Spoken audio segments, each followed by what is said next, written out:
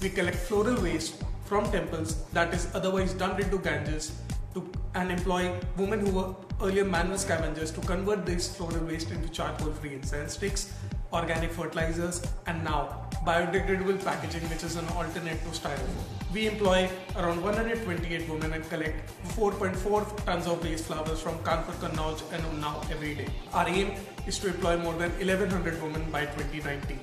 Our inspiration is the struggle of the ladies we employ and how they maneuver through their daily lives. Forbes India 30 under 30